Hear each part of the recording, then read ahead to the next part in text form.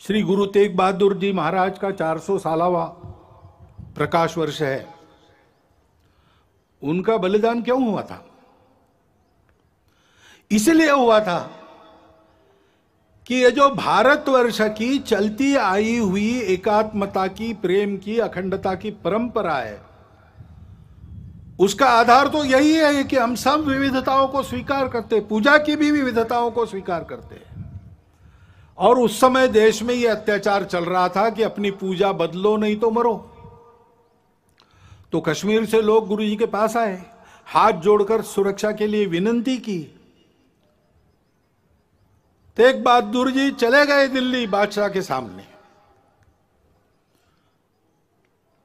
और अपनी धर्म श्रद्धा का परिचय देते हुए उनका बलिदान हुआ, उन्होंने अपना सिर दे दिया। परंतु भारतवर्ष में इस प्रकार की पूजा की स्वतंत्रता बनी रहेगी, सबकी पूजा स्वीकार होगी।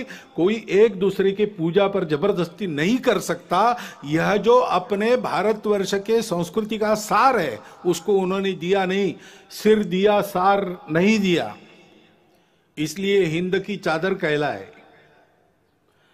भारतवर्ष की स्वतंत्रता भारतवर्ष की एकात्मता, अखंडता के लिए बलिदानों मिनी वीरों की सनातन काल से जो आकाश गंगा यहाँ चली आ रही है, उस आकाश गंगा के वे सूर्य से थे।